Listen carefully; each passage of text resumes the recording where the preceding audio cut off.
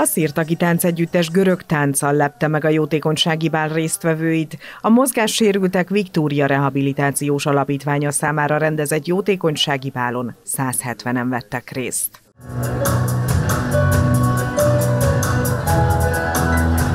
Az esnek hármas célja volt. Egyrészt a Kaméleon zenekar dallamaira kapcsolódhattak ki a résztvevők, a Viktória Rehabilitációs Központ működését támogatták, ráadásul a nemrég elhunyt alapítóra, egykori igazgatóra, Horváth Klárára is emlékeztek.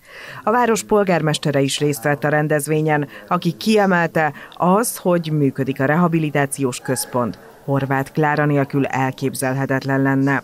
Bár az intézmény nem állami vagy önkormányzati fenntartású, a város mégis támogatja tette hozzá Cserpalkovics András. Ez rávaló emlékezés is, hiszen a számára legfontosabbat, a Viktóriát támogatja mindenki, aki ebbe a jótékonysági bába ma eljött. A Viktória pedig az egyik legfontosabb intézménye a városnak, még akkor is, ha nem állami vagy önkormányzati fenntartású intézmény, hiszen egy civil fenntartásban működő intézmény, de nyilván a város is régóta segíti, így fog egyébként tenni a 2024-es évben is, hiszen a költségvetés egy komoly összeget tartalmaz a Viktória támogatására. Szarvas József, a Mozgássérültek Viktória Rehabilitációs Alapítvány kurátora elmondta, hogy a Viktória Rehabilitációs Központ segítésére hozták létre korábban az alapítványt, amely programsorozatot indított a Ketcsináló Kultúrmix néven. Mint mondta, a Kultúrmix februári külön kiadása a jótékonysági bál, amelyet méltó körülmények között a Szent István Művelődési Házban rendezhettek meg.